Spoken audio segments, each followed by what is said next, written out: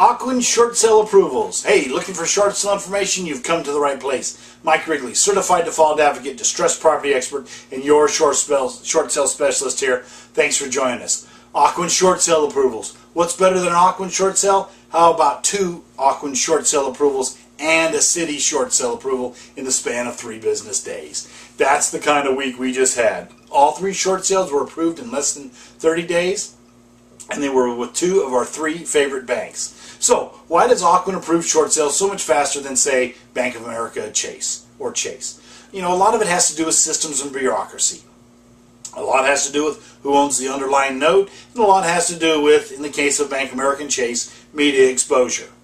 Now, the folks over at Ocwen seem to understand that the way to cut costs and mitigate their losses is to not drag out the Ocwen short sale process out over months when they can make a decision in weeks. Remember, the smart banker's mantra is first loss is best loss, meaning if the loss you're going to take today is is the loss you're going to take today greater or smaller than the loss you'll take as you drag this out, usually the loss today is less than the loss that you'll take down the road. Ocwen seems to get that. Well, I doubt Bank of America ever ever will. So, what's the secret to a quick Ocwen short sale approval?